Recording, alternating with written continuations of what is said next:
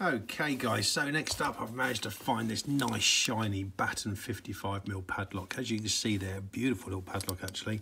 Uh, it's got a 55mm body with an 11mm hardened shackle, so all in all not too bad at all actually.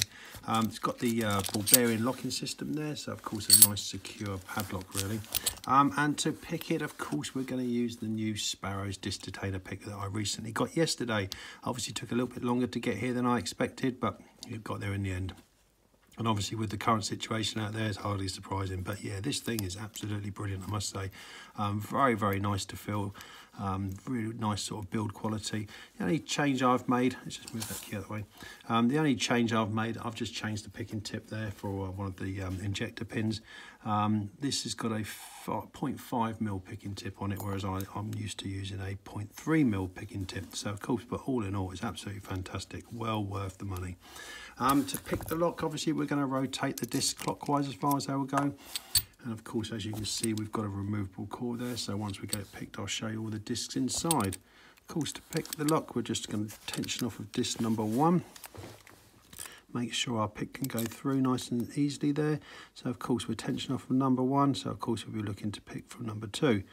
Okay, number two, nothing on two. Disc number three. Nice little click out of three. Disc number four little click out of four. Disc number five. Nice little click out of five. Disc number six. Nice little click out of six. Just going through the disc stack nice and comfortably. A little click out of seven. Nothing out of eight. A nice little click out 09 10 find him. And 10 openers up. So not actually too bad at all actually. It just shows you just how good this uh, this detainer pick is. If I can get it out. Okay, that's the Sparrows disc detainer pick, works an absolute treat. As I said, we can actually remove the core, so what I do, I just take this little cap off and I'll show you all the discs inside.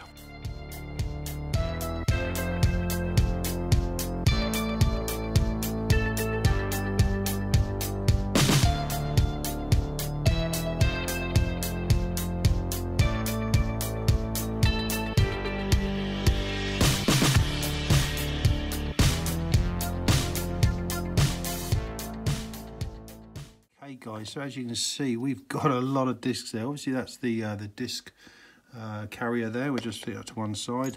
Um, so obviously, this is the uh, the top spinner, which obviously has a gate both sides. Obviously, depending on which way the spinner's orientated. And then, of course, we've got one, two, three, four, five, six, seven, eight, nine, ten, eleven, twelve discs. God, dear our Lord. So I must have tensioned off of the top two discs then inadvertently. Um, and, uh, and obviously they must have just probably been zero cut, but obviously as you can see there, they are the same cut. Um, and then obviously I started pick, picking off of disc number three, four, five, six, seven, eight, nine, ten, and then obviously 11 must have been a zero cut as well. But yeah, all in all, not a bad little padlock actually. Um, obviously, as you can see, no false gates, um, which is a little bit of a disappointment. Obviously, if it had had false gates in it, would have been uh, a little trickier to pick. But all in all, not a bad little padlock actually. And of course, the uh, Sparrows disc detainer pick made short work of it. Listen, guys, hope you enjoyed that. And of course, I'll be up with another video very shortly. Take care, guys.